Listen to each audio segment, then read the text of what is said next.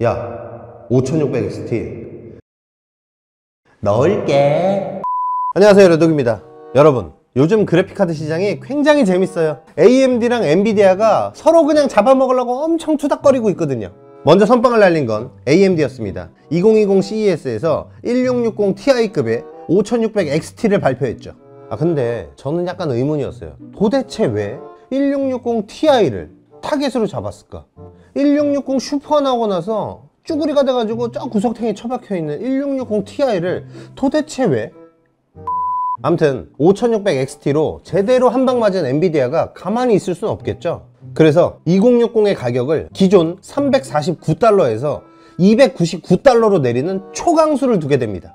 5600XT의 가격이 279달러인데 2060을 299달러로 내리면 엔비디아가 AMD 뒤통수를 그냥 쎄리 갈긴 게 되는 거예요. 여러분들도 한번 생각을 해보세요. 1660 Ti를 타겟으로 내놓은 그 제품이 279달러인데 1660 Ti보다 한 단계 더 위에 있는 2060이 299달러로 가격을 인하한다. 그냥 단순하게 계산해서 25,000원만 더 주면 2060을 살 수 있는 거가 되는 거예요. 거기다가 엔비디아라는 이름값 그리고 소프트웨어 지원까지 더하면 메리트가 굉장히 커지게 되는 거죠. 엔비디아의 카운터 펀치는 AMD의 뒤통수에 제대로 꼽혔고요. 엔비디아의 전략적 승리로 보이는 상황에서 AMD가 그냥 툭 하고 한마디 던집니다. 야 5600XT 넣을게. AMD는 엔비디아의 2060 가격 인하 초강수에 대응해 5600XT 전용 bulk up 바이오스를 배포함과 동시에 이후 출시분부터는 해당 바이오스가 적용된 제품으로 생산을 하겠다고 발표를 합니다 CES 2020 발표 때만 해도 gaming clock 1375MHz, boost clock 1560MHz였는데 그래서 1660ti를 타겟으로 한다 그랬는데 갑자기 게이밍 클럭 1615MHz, 부스트 클럭 1750MHz로 클럭이 12% 정도 뛰고요. 메모리 clock도 12GBps에서 14GBps로 올려서 나온다고? 개쩔잖아! AMD가 엔비디아한테 펀치를 날린 게 그냥 심심해서 할 짓거리 없어가지고 이렇게 툭 하고 때린 게 아니었어요.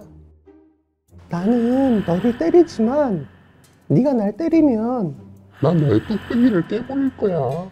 역시 우리의 갓사수 누님 사랑합니다 근데 한편으로는 바이오스 업데이트를 통해서 이만큼 성능을 올릴 수 있다면 왜 처음부터 성능을 높게 해서 출시하지 않았을까요? 쓰지 못하고 있는 성능이 있다는 게 참 아깝다는 생각이 들어요 근데 AMD가 머리를 잘 쓴 게 아닌가도 싶어요. 고도의 전략으로. 우리 갓사수 누님의 고도의 전략으로다가 이렇게 한번 내. 그러면 쟤네들이 무슨 반응이 올 거야. 그러면 그때 저 새끼들 다 죽여버려. 이렇게 하고 내놓은 게 아닌가 싶기도 합니다.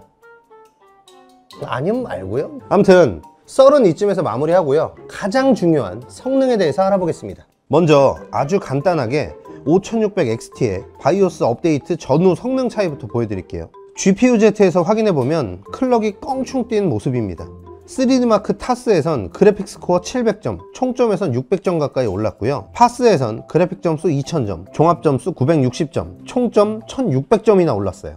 이 정도만 보셔도 굉장한 차이인데요 테스트 겸 확인한 디비전2 벤치마크에선 똑같은 구성인데도 불구하고 6프레임 가까이 더 잘 나왔어요 확실하게 clock이 오르긴 올랐구나 체감할 수 있었어요 바이오스 업데이트된 5600XT는 2060과 비교했을 때 과연 어떤 모습을 보여줄지 궁금해지는데요 2060과의 비교해선 특별히 램 클럭을 3200으로 맞춰서 테스트를 진행해봤으니 참고해주세요 여기서 잠깐 곧 보편화될 순정 3200 클럭 램은 아직까진 젠2 라이젠에서만 정상적으로 사용이 가능합니다. 인텔에선 3200 클럭이 정상적으로 인식이 안 돼서 CPU를 3600으로 진행한 점 꼭 기억해 주세요.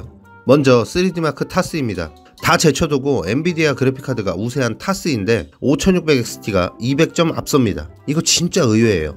타스가 엔비디아 그래픽카드가 점수가 잘 나오는 테스트였다면 파스는 반대로 라데온 그래픽카드가 점수가 잘 나오는 테스트인데 여기서는 무려 4000점이나 차이가 나는 모습을 보였습니다. 야 나 씨 할 말이 없네. 게임도 세 가지를 테스트해봤습니다. 디비전 2입니다. 최고 옵션에서 수직 동기화만 비활성화했고 DirectX 12를 사용했습니다 in-game 벤치마크에서 5600XT가 평균 6에서 9프레임 넘게 앞서네요. 라데온, AMD 협력 게임이라더니 진짜였어요. 국민 게임 배틀그라운드입니다. 당연히 국민 옵션으로 진행했어요. 배그에서도 무난하게 5프레임 가까이 앞섰습니다. 실화냐? 나는 2060이 이길 것 같았는데. 마지막으로 콜 오브 듀티 모던 워페어입니다. 옵션은 아래와 같이 설정해서 플레이를 했는데요. 이 게임에서는 두 그래픽 카드가 서로 엎치락 뒤치락 하면서 완전히 동일한 성능을 보여줬어요. 자, 결론입니다. 단순히 바이오스 업데이트만으로 이 정도의 성능을 끌어올릴 수 있을 거라고는 생각을 전혀 못했어요. 근데 그걸 우리의 AMD가 해냈습니다. 갓사수님 방향으로 그랜드절 한번 올리겠습니다. 미국이 어디 있지? 미국이 요쪽 요쪽 2060도 분명히 좋은 제품은 맞지만 2060 슈퍼가 출시된 다음부터 조금 사기가 꺼려지는 게 사실이었어요. 5600 XT 덕분에 뭐 가격 인하 buff를 조금 받아가지고 다시 또 살아나나 싶었는데 이제는 정말 안타깝지만 뭐 예 뭐 관짝이랑 이제 high five 할 때가 된 것 같아요. 아무튼 5600XT가 출시된 지가 얼마 안 됐기 때문에 아직 드라이버나 이런 것들이 안정화가 제대로 돼 있진 않아요. 근데 이제 드라이버만 좀 안정화가 되면 지금보다 성능이 오히려 더 높아질 수- 가능성도 있어 보이고요. 이제는 라데온 제품들도 지포스 판이었던 이 국내 보급형 그래픽카드 시장에서 어느 정도 경쟁력을 갖춘 것 같습니다. 그리고 한 가지 더, 라데온 같은 경우는 출시 초기에 게임 쿠폰 무료로 증정해주는 그런 이벤트들도 하잖아요. 얘가 할지 안 할지 모르겠지만, 그것까지 한다 그러면 지금 눈에 보이는 2만원, 2만 5천원 요 정도 차이보다 더 큰 차이가 발생할 수 있는 거죠. 뭐 게임 쿠폰 하나에 뭐 2만 5천원, 3만원씩 하니까. 그런 것들 가- 계산하면, 그런 것들까지 계산하면 한 5만원에서 6만원 정도 여러분들한테는 이득이 되지 않을까 그런 생각을 해봅니다. 아무튼 간에 오늘 저희가 준비한 영상은 여기까지고요. 영상이 마음에 드셨다면 구독과 좋아요, 알림 설정 부탁드리고요. 다음 영상에서 다시 만나요. 안녕.